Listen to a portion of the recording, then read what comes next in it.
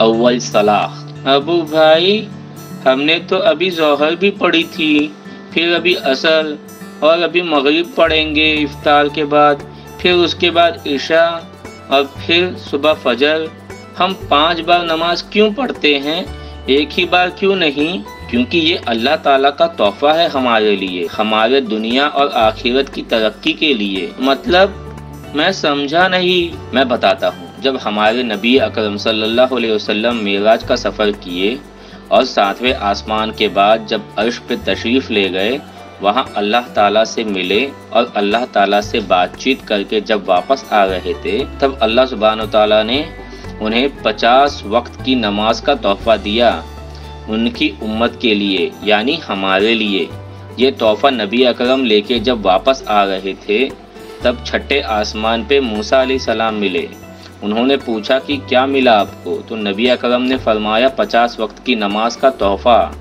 तो मूसा सलाम ने कहा कि मेरी उम्मत को भी ये तोहफ़ा मिला था, लेकिन मेरी उम्मत ये कर नहीं पाई, क्योंकि दिन का पूरा वक्त नमाज़ में गुजर जाता था और आपकी उम्मत भी नहीं कर पाएगी और गुनाह में मुबतला हो जाएगी। इससे बेहतर है आप वापस अल्लाह सुबहान तला के पास जाके कुछ नमाज़ कम करवाई अपनी उम्मत के लिए। तो आप सल्लल्लाहु अलैहि वसल्लम वापस गए और फिर आए।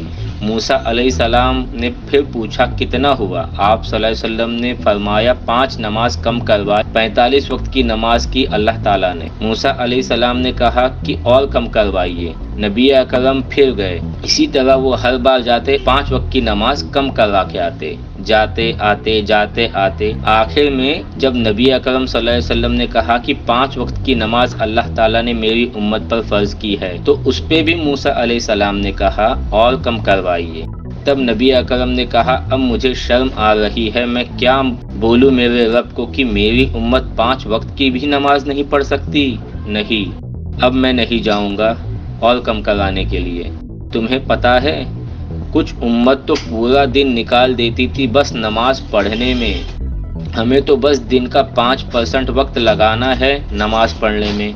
उसमें भी हम चोरी करते हैं। चोरी? नमाज़ में कैसी चोरी? अव्वल तो कितने लोग नमाज़ नहीं पढ़ते? और कुछ लोग जो पढ़ते हैं, उनमें से भी कितने ऐसे लोग हैं जो नमाज़ सही से नहीं पढ़ते और उसमें चोरी करते हैं। लेकिन अबू भाई, कोई भला नमाज़ में कैसी चोरी करेगा?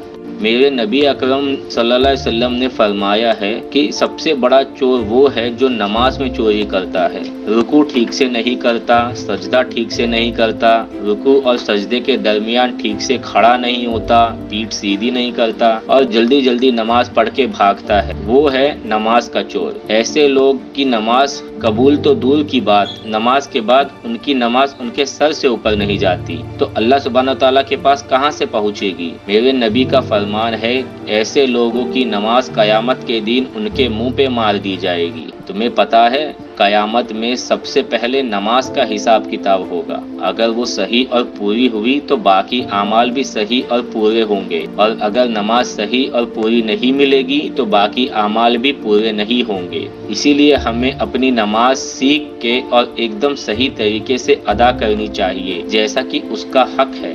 अगर हम नमाज़ सही पढ़ेंगे तो अल्लाह ताला के नज़दीक होंगे और वो तोहफ़ा जो हमारे नबी को मिला था उसका हक अदा करेंगे।